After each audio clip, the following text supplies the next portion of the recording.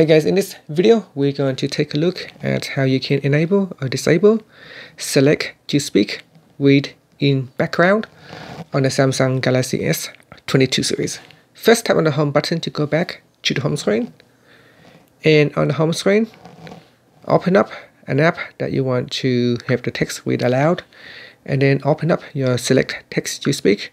So here, once it is opened, you want to tap on the left hand side arrow to expand the menu.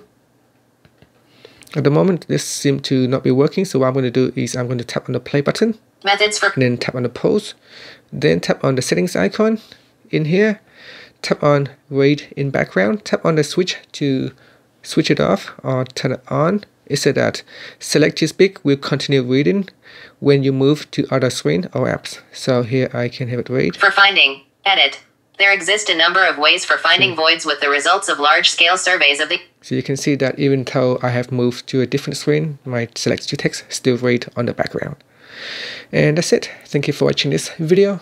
Please subscribe to my channel for more videos.